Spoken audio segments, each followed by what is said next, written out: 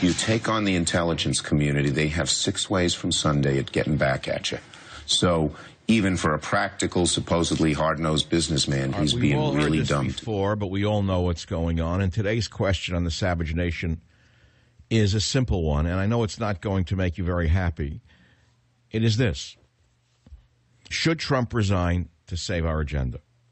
Should Donald Trump resign for the sake of our agenda? The agenda is bigger than the man. Does Donald Trump have any moves left to escape the evil attacks that are all false? And three, why do the Democrats so badly want war with Russia? Has anyone thought about that? Now, before I go into this in a little more detail, I want to quote the Proverbs because, as I said to you before, having gotten the number one bestseller called Trump's War out there, which is more important now than it was when I wrote it because it's the only record of what Trump actually promised us, what we demanded of him. I am working on my book, God's War. I'm actually finishing it. And so I want to read something. It's a short one, it's a one sentence one. Even those of you who hate religion may find this interesting. But Proverbs 24 17 says, When your enemy falls, do not rejoice. And when he stumbles, let not your heart be glad, lest God see and be displeased, and then divert his wrath from him to you. If only Charles Schumer had a scintilla of his own religion left in him. If only he read Shemuel the small one, who said, When your enemy falls, Charlie, do not rejoice. And when he stumbles, Chuck, let not your heart be glad, lest God see and be displeased and then divert his wrath from him to you, which means what goes around comes around. In hippie parlance, maybe that's something Chuck Schumer could understand. But let's get to the main question Should Trump resign to save our agenda? I know you don't want to hear that question. And it's probably something you never thought you'd hear me say, but I'm asking for, for a very good reason. It's to force you to think about it. The demon cats and the media have two goals right now, and that's along with, by the way, the Republican Party, who never wanted Trump to begin with, and is in a circle. Let me add that to it. Et tu Brutus, yes, he's surrounded by Brutuses. He is surrounded by Brutuses. Democrats, Republicans, media, and Brutuses within have goal, two goals right now, and they have some success in achieving both. They want to stop our agenda of borders, language, and culture, and they want to destroy the Republicans in the midterms. If they can't stop Trump with the first option, the second option will accomplish the goal of the first. The real question today is what can Trump do to survive this? Does Donald have any moves left that can help him escape these attacks? You see, Donald Trump has no sense of statesmanship.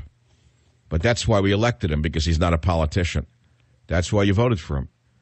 But I must tell you, he's acting like a bull in a china shop or a teenager on a cell phone. This is allowing the media to continue to portray him as King George and all the madness. He's not being helped by the people surrounding him. He's being undermined by his communication staff. They can't seem to come up with any common message. They can't keep him off of Twitter. Most importantly, they won't allow him to get near the people who support him most, my audience. Keeping Donald Trump away from the savage nation is a message to you. Because when you have people who supported you now buckling from all the negative news day after day, it's demoralizing the base. And without our support, he has nothing. If he falls, the agenda will fall. No wall, no tax cuts, no immigration policy, no more judges go down the list. So what does Donald Trump have to do? Should Trump resign to save our agenda? He's not going to do that, by the way. He's been in many bankruptcies. He's been assaulted through many lawsuits. He's not a quitter. But what is he going to do to turn this around? This is our last chance to have the agenda we believe in advanced. Can it be saved? Those are the questions. I invite you to call at 855 400 7282. Remember this he's severely damaged in the eyes of the public. Forget the Democrats. The, uh, the all important independents are now wavering. The Democrats know he can't be impeached. They know very well he can't be impe- impeached. But they have an objective. The objective is stop the agenda. That's our agenda. Damage the Republicans for 2018 and start a war with Russia if possible. And third, stall the investigations of Obama and Hillary for true crimes and misdemeanors. He cannot be impeached. It's impossible. if you actually study what impeachment is, it's impossible to see him being impeached. It's impossible, impossible, impossible. You know what, what you have to do in order to be impeached? Treason, bribery, or other high crimes and misdemeanors. Period. President Bill Clinton was impeached for perjury and obstruction of justice, but he was acquitted in the Senate. President Andrew Johnson was impeached in 1868 for abuse of power. He was acquitted in the Senate. President Richard Nixon resigned in, uh, in 1974 after three articles of impeachment were drafted charging him with obstruction of justice, abuse of power, and contempt of Congress.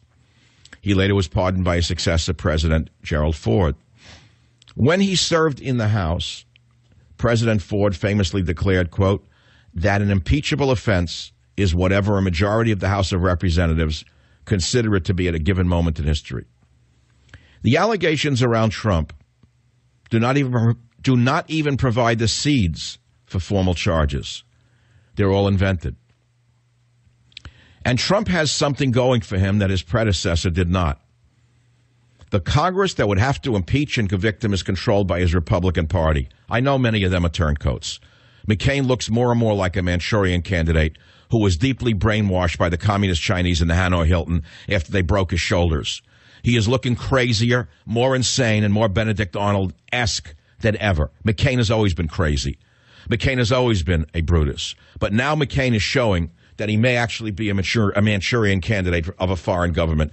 You talk about collusion? Huh. You talk about collusion. I'll get into that in a minute. I'll get into the articles of impeachment and show you that that's nonsense. It's never going to happen. Another odd thing came out today, which is that some fools at the New York Times are saying that uh, Trump is mentally unfit for office and should be removed under the 25th Amendment. That's absurd. If you want to talk about mentally unfit for office, that could have applied to Barack Obama, who was clearly a sociopath. Barack Obama showed all the signs of being a sociopath. He could have been removed under under under the 25th Amendment, couldn't he? So now that